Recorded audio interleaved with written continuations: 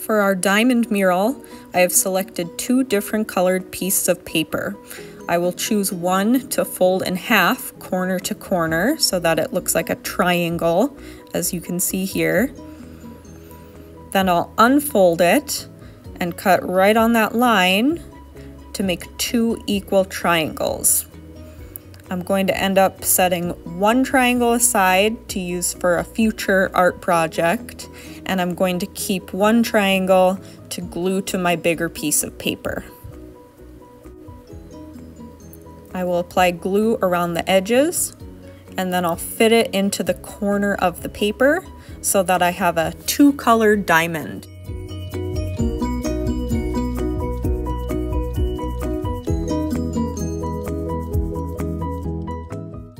Now I'll write my name on the back. Now I need to make sure that I position my diamond in front of me so that the center line is going horizontally from side to side. I'm going to draw some lines from the top corner to that center line. I'll do one right down the middle from the top corner and then I'll do two on either side of it. You can do more lines if you want to. I'm doing three. Then I'm rotating my diamond and doing the same kinds of lines from the top corner down to that horizontal center line. They're matching up with the ones on the other side. You can see these better when I outline them with oil pastels. So here are my oil pastels.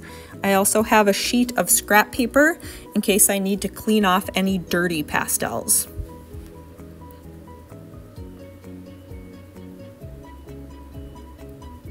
Now I'll outline those lines that I made on my diamond so you can see them better. And again, if you want to do more than three lines on each side, you totally can. When I drew those lines on my diamond, I create they created smaller sections that I will color in now. And you can choose any color scheme you want. You can add patterns, you can blend colors, all that is up to you. But just make sure that you leave at least one top and one bottom section blank so that the original color of your paper shows through. Because with the oil pastels, we're adding some variety to the mural. We're adding our own personal touch. And then by leaving some of those sections blank, we're maintaining some unity so that the finished mural has a sense of wholeness. It's all about unity and variety.